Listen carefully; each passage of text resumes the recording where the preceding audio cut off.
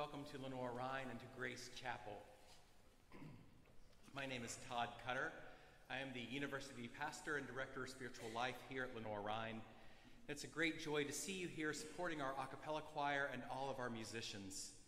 I hope that this evening or in the coming days you'll be moved to make a contribution to the a cappella choir as they are planning a choir tour to Spain in May of 2023.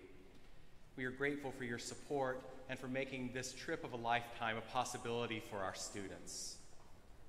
Tonight's service is a worship service. We ask that you hold all applause until the end of the concert. I also need to share some very sad news with you this evening. This morning, the Lenoir-Rhyne family was told that Dr. David Dreyer, professor of political science, had died quite suddenly due to a cardiac arrest. To say that our campus is reeling does not even begin to put into words the emotions that we are feeling at this time. We pray for Dave's family, especially for his two young sons who now face a future without their father. And we'll take a moment of silence to remember Dave. And during the prelude, we'll be lighting this candle in memory of him. He was a trusted advisor, a beloved colleague, and a dear friend to many on this campus. And we will so sorely miss him. Thank you for your prayers for Lenoir-Rhyne and for the Dreyer family during this time.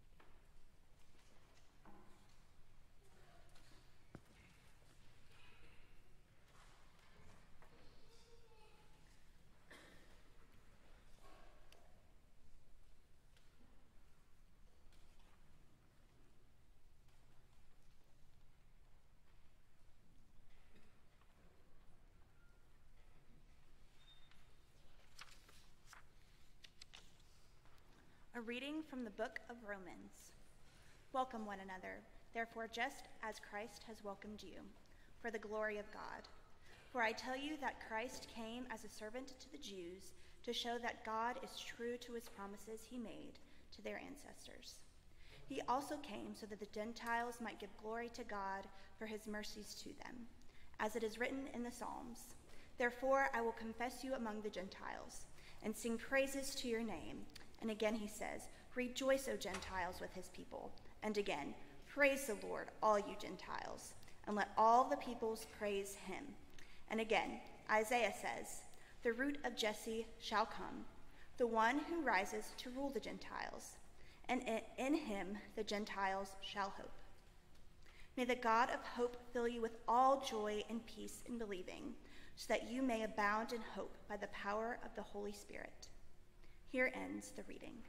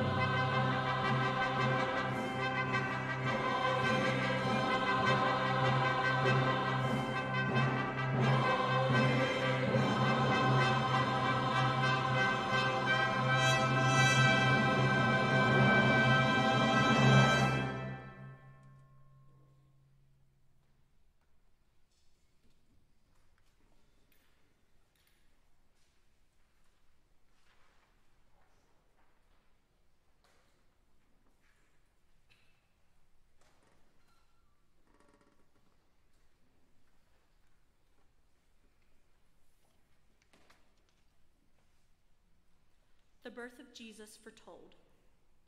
In the sixth month, the angel Gabriel was sent by God to a town in Galilee called Nazareth, to a virgin engaged to a man whose name was Joseph of the house of David. The virgin's name was Mary. And he came to her and said, Greetings, favored one, the Lord is with you. But she was much perplexed by his words and pondered what sort of greeting this might be. The angel said to her, Do not be afraid, Mary, for you have found favor with God. And now you will conceive in your womb and bear a son, and you will name him Jesus. He will be great and will be called the Son of the Most High, and the Lord God will give to him the throne of his ancestor, David. He will reign over the house of Jacob forever, and of his kingdom there will be no end. Here ends the reading.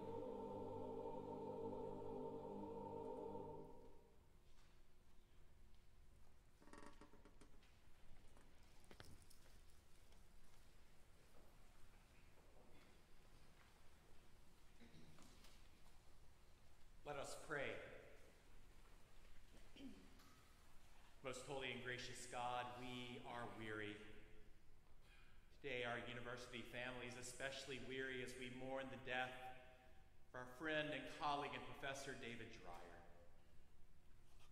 Comfort his family. Surround them with your spirit. Fill their hearts with your peace. And keep them and all who mourn mindful of the promise of the resurrection to eternal life. And yet, O oh God, we are also weary because of our frantic running to and fro as we try to juggle all the responsibilities we carry. We are tired of a world where politics divide and people turn away from hearing and honoring different perspectives. We are worn down by the suffering we see in our neighborhoods, country, and the world as natural disasters destroy and as warfare tears lives apart. We are weary from the burdens we carry and our own grief, sorrow, and hurt. Oh God, we are weary. And yet, in moments like these, when we pause and rest and hear the good news of your love proclaimed in music, when we sit surrounded by community and are reminded that we are not alone, in such times the voice of your Son breaks through and we hear his tender words. Come to me, all you who are weary and are carrying heavy burdens, and I will give you rest. O oh God, this promise that we can lay down our burdens and find our rest in you is balm to our weary souls. We pray that you will keep us mindful of these words, that you will give us the courage we need to stop, to breathe, to rest in you. And then, refreshed and renewed, we pray for the strength to go out into the world to share the good news of your love, to shine your light for others who feel lost in darkness, to stand and work with the oppressed and downtrodden so that we might strive together for a world where all receive dignity and respect, to give of our very selves so that all may have enough, and to stand with and support those who are grieving, especially David's family for in such actions. In these ways, you call us to work in the world. Our words and deeds proclaim the wonderful news of this holy season. And above all, we pray that these words and deeds might also clearly proclaim the message that this weary world longs to hear. Come to me, all you who are weary and are carrying heavy burdens, and I will give you rest. I will give you rest. Amen.